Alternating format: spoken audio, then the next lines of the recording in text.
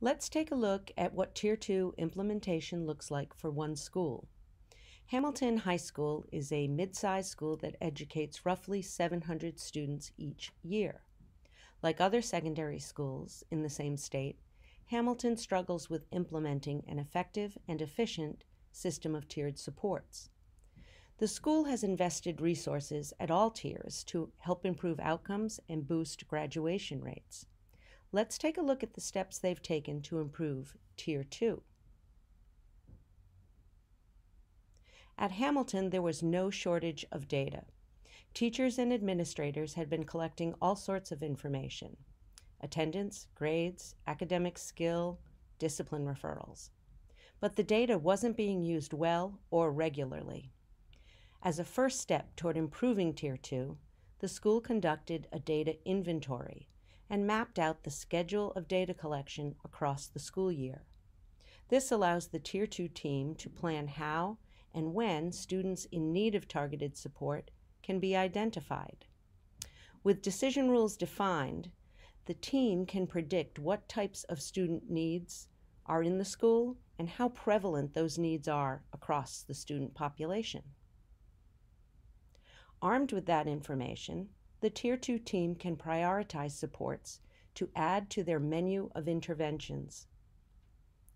Since many at risk students at Hamilton were presenting with low engagement, poor study or organization skills, or low reading performance, the team searched for interventions that held promise for addressing those needs, as evidenced by quality, independent research.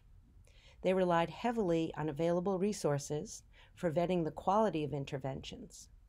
Among the pool of high quality interventions, they sought out those that would be a good fit for the context, could be implemented with fidelity, and for which they could ensure their teachers would have the capacity and resources needed. Starting with evidence based interventions was a good foundation. The team knew, however, that quality interventions don't achieve desired outcomes unless they are implemented well and matched to the student need for which they can be effective. With this in mind, the team set out to ensure all relevant staff understood what the intervention was, why it was important for the students, and how to implement it.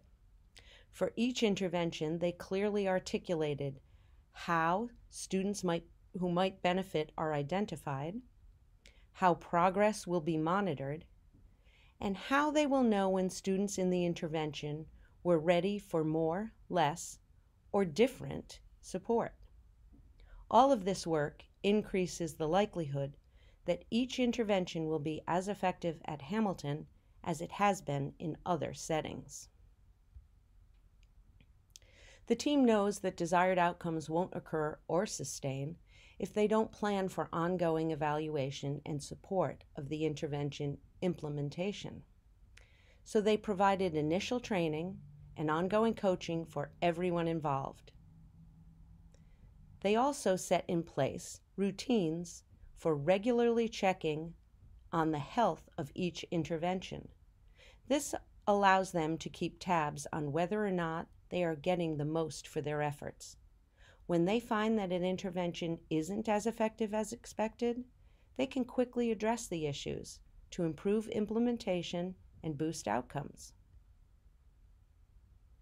Because every school year gets busy and we often lose sight of our initial plans, the team captured the schedule of actions across the year. This helps them follow through on and reap the rewards of all of their careful planning.